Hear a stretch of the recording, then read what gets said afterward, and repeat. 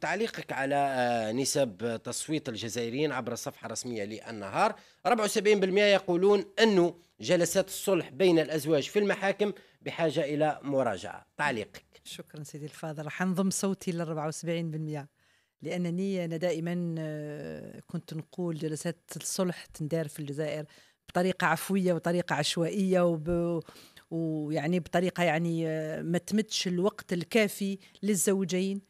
باش يتراضوا كأن جلسات الصلح أصبحت يعني موعد لكي نحل آه النزاع ونفك الرابطة الزوجية وما آه، يعني ماشي هذا هو دور جلسات الصلح. بعض أصبح جلسات يصفوا جلسات الصلح وكأنها طلاق إكسبريس يعني. إكسبريس آه، سريع. وهذا هو الشيء يعني الضرر اللي راه جانا من جلسات الصلح اللي لازم تمد الوقت الكافي للزوجين لكي كل زوج يعرض المشاكل تاعو ويلقاو صلح مش باش نفكوا الرابطة. برأيك الجزائريين 74% يقولوا إنه جلسات الصلح بحاجة إلى مراجعة. هل هي الآليات؟ هل هو الضغط على القضاة؟ هل آه، الميكانيزمات التي تحكم هذه الآلية آلية الصلح بين الأزواج كمرحلة أخيرة قبل الطلاق؟ آه، لماذا برأيك وقلت أنك ضمي صوتك لهذه النسب. هل معدلات الصلح في هذه الجلسات ضئيلة جدا إلى هذه الدرجة؟ جلسات الصلح ما اعطتش نتائج يعني إيجابية،